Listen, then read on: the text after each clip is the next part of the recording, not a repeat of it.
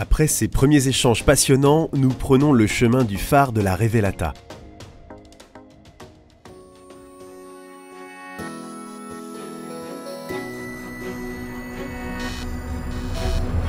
Je m'appelle Thomas Capitaine, j'ai grandi en Normandie et toujours l'océan a pris une grande place dans ma vie.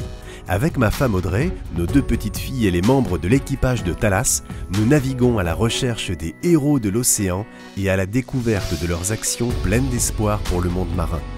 En allant à leur rencontre, nous voulons croire qu'un avenir est encore possible et comprendre à quel point nous sommes tous les acteurs de ce futur. Prêts à embarquer?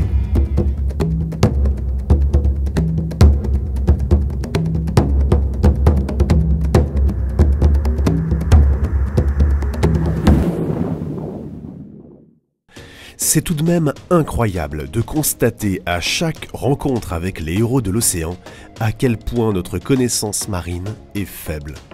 Il aura fallu un péril économique directement lié à une pression humaine pour que nous décidions d'étudier ce magnifique animal. Il y a quand même une ironie dramatique à ce que les événements s'enchaînent dans ce sens. L'exploitation de l'océan, ou plus largement des ressources vivantes sur notre planète, ne font l'objet d'une inquiétude ou d'une attention que lorsqu'elles viennent à manquer, alors que cette situation aurait pu être évitée et l'espèce préservée avec simplement un peu plus de respect.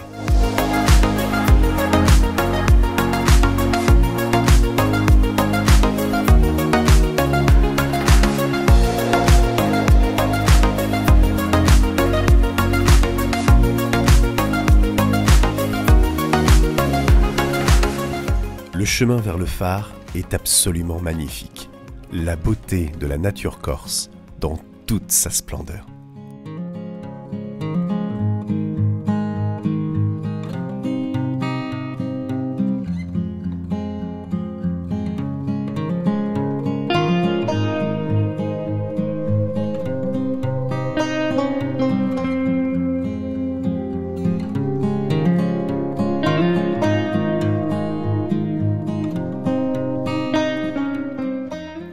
D'une heure de piste non carrossée, on croise plus de randonneurs que de véhicules, et c'est sûrement l'isolement qui confère cette ambiance si particulière et si pure. Le phare de la Révélata se mérite, et ce n'est qu'une fois à ses côtés que nous réalisons la beauté magique de l'instant et la préservation de cette nature sauvage. Comment ne pas tomber amoureux?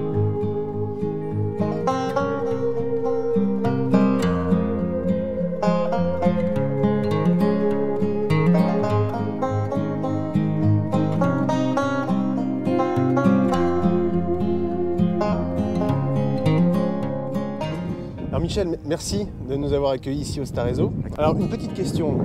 On a, on a revu, on a vu beaucoup d'études qui sont actuellement en cours. Euh, tu nous as parlé de tout ce qui a été mis en place en termes de- d'échantillonnage, de, surveillance. Est-ce qu'aujourd'hui, il y a réellement des applications? Est-ce que les études et les constatations qui ont été faites par le Starezo et les équipes du Starezo ont permis de faire bouger des lignes, ont permis de faire avancer la législation, la protection? Qu'est-ce qui se passe aujourd'hui grâce au Starezo dans le secteur ou ailleurs Bien sûr, donc on a vraiment des études sur euh, différents écosystèmes. Et un des écosystèmes les plus productifs au monde, c'est l'herbier de Posidonie. Donc nous, on l'étudie depuis plus de 50 ans. Il y a de nombreuses recherches qui sont faites. Et on a contribué, nous, avec d'autres, hein, équipes de recherche et d'autres gestionnaires, à interdire l'ancrage dans l'herbier de Posidonie. Donc ça, c'est vraiment une des mesures phares qui a été mise en place euh, cette année et donc qui permet de limiter la destruction de l'herbier de Posidonie, qui est un puits de carbone qui va lutter contre le changement climatique, une zone de nurserie, de frayère pour les poissons, un hotspot de biodiversité. Donc ça, c'est vraiment une des mesures phares. On travaille aussi sur la conservation d'espèces emblématiques. Par exemple, on a donné des, des données scientifiques pour appuyer un moratoire sur le corbe et le mérou, renouveler le moratoire. On a aussi euh, sur, par exemple, l'holoturie, le concombre de mer, comment le protéger, lutter contre le braconnage. Ici, il y a du braconnage? Bien sûr, il y a du braconnage aussi. Euh, sur le concombre de mer, par exemple, il y a eu des braconniers qui sont venus de Sardaigne, venus braconner dans les eaux corses. Et donc, il y a un arrêté préfectoral, sur la base de nos constatations, sur notre avis scientifique, qui a interdit la pêche de l'holoturie euh, dans les eaux corses. Donc, pour préserver cette espèce qui est vulnérable dans la liste rouge des espèces menacées par l'Union internationale pour la conservation de la nature. Qu'est-ce qu'on en fait du concombre de mer euh, Quel est l'intérêt de braconner une espèce comme celle-là C'est une haute valeur commerciale. Sécher le kilo du concombre de mer, c'est 1000 euros le kilo. Et en fait, c'est étudié dans la médecine et c'est utilisé dans la médecine traditionnelle chinoise. Ça aurait des vertus thérapeutiques, aphrodisiaques. Et euh, en fait, c'est exporté en Chine et euh, c'est fait pour faire des médicaments. Donc en fait, les euh, concombres de mer sont braconnés dans les eaux françaises, méditerranéennes, sont transformés et envoyés sécher pour, pour la Chine, pour le marché chinois. Incroyable. Donc ici en Corse, on paye le tribut d'un braconnage pour un marché chinois. Mais c'est vraiment ça, c'est la mondialisation, tout est connecté et vraiment il n'y a, a, pas de frontières, c'est la loi du marché. Il y a une question qu'on nous a beaucoup posée, Comment est-ce qu'on peut travailler dans l'océanographie? Comment est-ce qu'on peut rejoindre euh, une station comme le Star Réseau, comme l'IMEV à Villefranche ou, ailleurs? Est-ce que c'est nécessairement des doctorats, des multi parfois doctorants? Est-ce que c'est des années, des décennies d'études? Ou est-ce que finalement ça peut aussi être accessible à tous? Comment est-ce qu'on peut aujourd'hui agir pour l'océan? Alors, tout le monde peut agir déjà à son niveau, avec un niveau d'études ou pas. Et euh, il y a plusieurs profils. Nous, à Star Réseau, on a des profils bien sûr de chercheurs, Bac plus 5, Bac plus 8. Et on a aussi une équipe derrière de techniciens, d'ingénieurs, euh, d'administratifs, donc avec des diplômes ou sans diplôme, avec des parcours de vie différents, à l'international, à l'étranger, euh, qui ont acquis beaucoup, d'expérience aussi sur le terrain. Donc chacun ici apporte sa pierre à l'édifice avec différents profils différents parcours de vie. Donc n'importe qui aujourd'hui peut rentrer à condition d'avoir une compétence identifiée. Donc ça va être dans la logistique, ça va être dans l'administratif, ça va être dans la préparation, dans la petite technique. Tout le monde aujourd'hui peut trouver une place dans une station comme Star Réseau et participer à la préservation de l'océan. Ah oui, tout le monde, tous les profils. C'est pour ça qu'on a. C'est hyper encourageant comme. Ah, c'est euh, encourageant. C'est plaisir. J'espère que ça faire naître des vocations et peut-être les voilà de, nouvelles personnes viendront aussi euh, ici. Mais on accueille beaucoup de scolaires et c'est vrai que euh, ben, on donne, essaie de donner la flamme de l'océanographie, de la biologie, montrer les, beautés de, l'océan. Et donc souvent on dit ben, aux étudiants, aux jeunes, ben voilà, peut-être demain sera vous les scientifiques de demain à Star Réseau, ce sera vous les ingénieurs, les techniciens, c'est vous qui serez les de cette mer. Donc on a besoin de toutes les forces vives présentes. Super, ça c'est un message d'espoir et j'espère que vous serez nombreux à l'entendre parce qu'on a beaucoup d'écoles qui ont rejoint le programme de Thalas, on a beaucoup d'enseignants qui nous suivent, nous-mêmes on intervient dans des écoles et c'est un message je pense qu'il faut lancer parce que l'océan, il faut le protéger mais c'est aussi tout un, lieu de jeu, un lieu de vie, un lieu d'exploitation, il faut le faire, si on le fait de façon raisonnée, ben, c'est grâce aux chercheurs, c'est grâce aux recherches et aux stations comme le Star Réseau qu'on peut comprendre comment exploiter la mer. Alors Michel, tout à l'heure on était, euh, tu nous as fait visiter les, les bassins qui sont euh, dans le Star Réseau et cet axe de recherche sur la langouste rouge, j'ai vraiment trouvé ça formidable. Quand on pense à la langouste, on va y penser tout de suite comme un plat de fête, voire un plat luxueux. D'ailleurs, je pense que tu vas pouvoir nous expliquer pourquoi c'est aujourd'hui un plat luxueux. Je crois que ça n'a pas toujours été le cas. Aujourd'hui, quel est l'intérêt de cette recherche? Qu'est-ce qu'on espère trouver et pourquoi surtout on ne l'a pas fait avant? C'est vrai que quand on pense euh, Méditerranée, langouste, souvent, je sais qu'il y a travaillé sur le corail, vous avez vu des recherches sur le corail, on, parle souvent de l'or rouge de Méditerranée, l'or rouge c'est le corail. Pour moi, quand je parle or rouge, c'est la langouste. C'est aussi un autre euh, or de Méditerranée qui est présent. Et il faut savoir que voilà, les ressources halieutiques et les ressources de la langouste rouge en Corse, historiquement, c'est un des ports les plus productifs euh, en termes de production de langoustes rouges. Il y a plus de 300 pêcheurs qui pêchaient cette langouste rouge. Aujourd'hui, il y a 60 tonnes qui sont pêchées et près de la moitié des pêcheurs, 160 pêcheurs. Qu'est-ce que vous avez fait comme découverte euh, étonnante ou à laquelle vous ne vous attendiez pas concernant la langouste rouge depuis que vous avez démarré la recherche? Un de nos, de nos projets, c'est vraiment d'étudier le recrutement. Ça veut dire comment les juvéniles, les petits individus reviennent à la côte. Et ce qu'on a observé, on travaille avec le, parc naturel marin du Cap Corse, on travaille avec la réserve naturelle des Bouches de Bonifacio, on travaille avec l'Espagne, on travaille avec la Bretagne. On a vu qu'il y avait euh, des pics de recrutement qui étaient tous les 3-4 ans. Et euh, ça, on a vu à l'échelle de la Méditerranée c'était dû à des oscillations climatiques plus larges. Euh, et donc c'est aussi, euh, il y a des cycles comme ça, pluriannuels, qui rentrent en compte dans le recrutement, dans le renouvellement des stocks de langoustes rouges. Ah ok. Louise, je crois que tu avais une question, tu voulais poser une question? Alors viens. Deux questions Alors vas-y, on t'écoute ma chérie. Les langoustes, euh, tu nous as appris tout à l'heure qu'elles se servaient de leurs grandes cornes pour se pour se protéger des prédateurs. Mais est-ce qu'elles peuvent faire quelque chose d'autre pour communiquer avec les autres, par exemple, ou nager avec euh? Comment elles communiquent ah, C'est une très bonne question. Donc justement, je t'ai montré, les antennes, ça permet, de... tu as vu quand j'ai mis la main dans le vivier, euh, il y a les, antennes comme ça, elles, essayent de, repousser mes mains, etc. Donc ça repousse les prédateurs physiquement. Et après, elles ont un système de communication. Donc avec la base des antennes, elles, se frottent comme ça. Ça, ça, ça fait des stridulations. Ah si le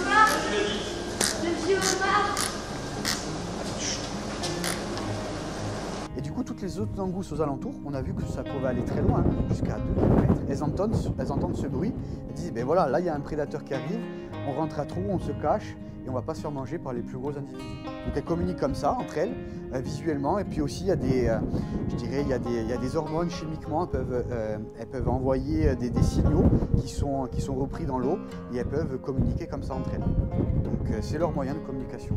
Mais aussi, dis-moi, Michel, est-ce que les langoustes se font manger par un autre grand prédateur, à part l'humain, euh, à part l'homme, pardon, ou euh, il y a un autre grand prédateur qui mange des langoustes Ouais, c'est une très bonne question. Mais bien sûr, l'homme, hein, comme tu l'as dit, c'est un des premiers qui mange des langoustes. Et ça va dépendre de la taille. Quand elles sont toutes petites, les toutes petites langoustes que je t'ai montrées comme ça, souvent il y a les poulpes, ils viennent les manger. Ils rentrent dans les trous et ils viennent manger, il y a les poulpes, etc. Après, plus elles grandissent, plus c'est des gros poissons. Genre par exemple les mérous ou euh, d'autres gros poissons prédateurs qui viennent manger les gros individus. Donc c'est suivant la taille de, de l'individu, l'âge, elles vont, elles vont avoir différents prédateurs. D'accord. C'était deux super questions. Bravo Michel, merci beaucoup. ben, c'était une visite, euh, c'était vraiment une visite formidable. Je vous souhaite à tous une, une chance et, euh, et beaucoup de trouvailles dans cette recherche sur la langouste qui, je pense, va porter des fruits. J'en ai pas le moindre doute vu l'organisation que vous avez mis ici en place. Et j'espère vraiment qu'on pourra se revoir. Je t'ai posé une question tout à l'heure quand on était ensemble. Je t'ai dit que le, le principe de Thalas, c'est que chaque héros nous pousse vers le suivant. Est-ce que tu es d'accord pour nous mettre en contact avec le prochain héros et est-ce que tu as déjà pensé à quelqu'un? Oui, je pense à, un héros, une héroïne, ce serait Marie-Catherine Santogne de la réserve naturelle des Bouches de Bonifacio. Et pareil, c'est une sentinelle de la mer euh, qui est euh, vraiment engagée sur le territoire pour la protection du milieu marin. C'est une très. Honnêtement, je- c'est une super bonne idée. Les Bouches de Bonifacio, c'est un endroit en plus que je connais bien. Et j'imagine qu'elle doit avoir beaucoup de pain sur la planche parce que entre la région touristique des Lavezzi, des Madeleines qui sont à côté, la Sardaigne et tout le champ qu'on y connaît, plus les perturbations météo folles qu'il peut y avoir dans les Bouches, j'imagine que ça doit être passionnant ce qu'on ce qu'on découvre là-bas. Tu es d'accord pour nous mettre en contact avec elle? Bien sûr, je vais euh, me mettre en contact et je pense qu'elle sera ravie de vous accueillir et d'échanger avec vous sur ces thématiques. Eh ben on croise les doigts. J'espère que ça va se faire. En tout cas, je te tiendrai au courant. Merci beaucoup, Ben, Michel. merci, merci à vous. Vous qui nous regardez, n'hésitez pas vous aussi à partager la vidéo. Plus on est nombreux à découvrir toutes ces informations incroyables, eh bien plus on avance pour la préservation de l'océan et plus ensemble on fait grandir la famille de Thalas, toujours avec le même but, c'est créer et préserver notre avenir à tous.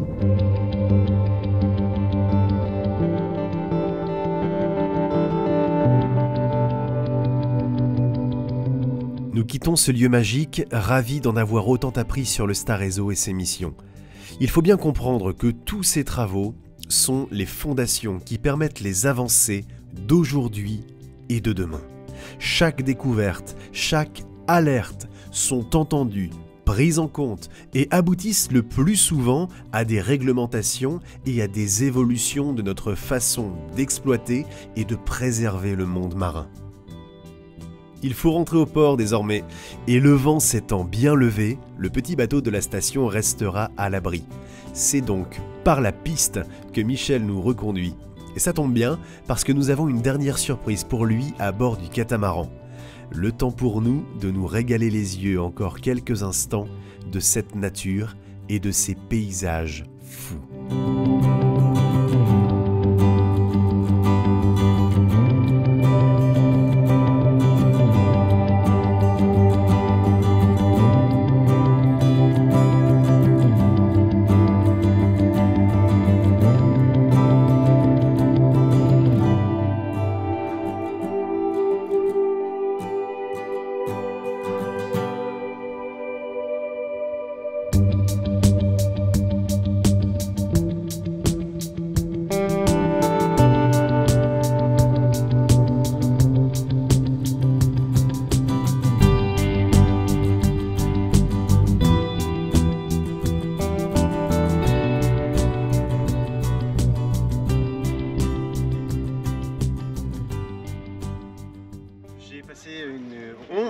Euh, passé euh, avec toi une, excellente journée. Merci de nous avoir fait découvrir le Star Réseau.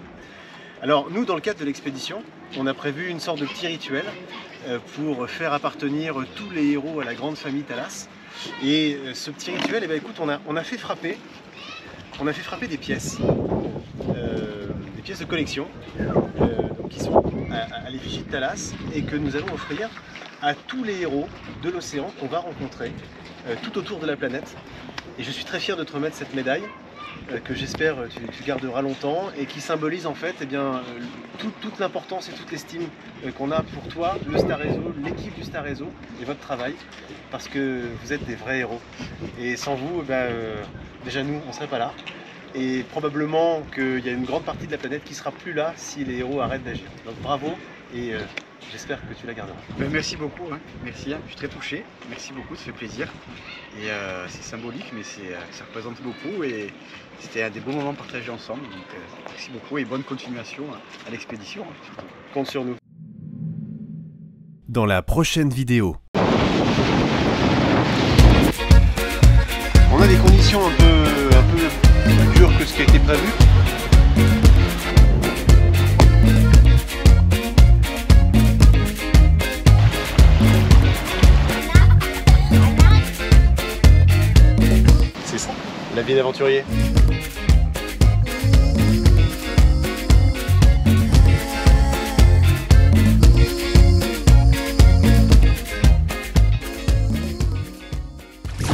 Et n'oubliez pas de télécharger l'application Thalas.